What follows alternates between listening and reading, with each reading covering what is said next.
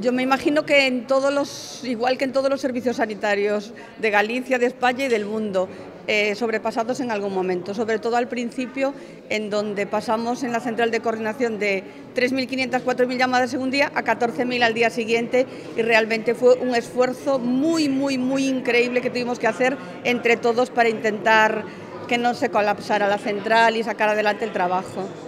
Bueno, es una satisfacción personal. Bueno, evidentemente yo vengo aquí en nombre de todos mis compañeros y del 061. Es una satisfacción personal porque decir, bueno, pues de alguna manera este trabajo tan importante que hemos hecho se nos reconoce de alguna manera. Que conste que para nosotros el reconocimiento más importante es el de los pacientes, que cuando los, ellos te llaman, te agradecen la atención prestada, pues es el reconocimiento mayor que podemos tener.